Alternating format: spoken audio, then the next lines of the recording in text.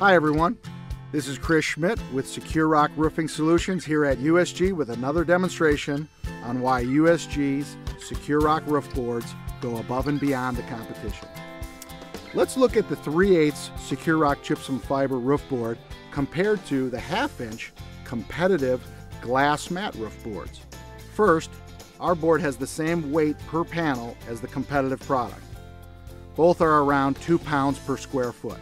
Second, our 3 8 product has double the compressive strength of their half inch glass mat product. That's more protection from hail and foot traffic. Third, both our 3 8 gypsum fiber and their half inch glass mat can span 5 inch flutes. On top of that, we have a better perm rating and a higher mold and moisture rating. So, overall, our tests show that our 3 8 gypsum fiber product is a better option than the half inch competitive glass mat.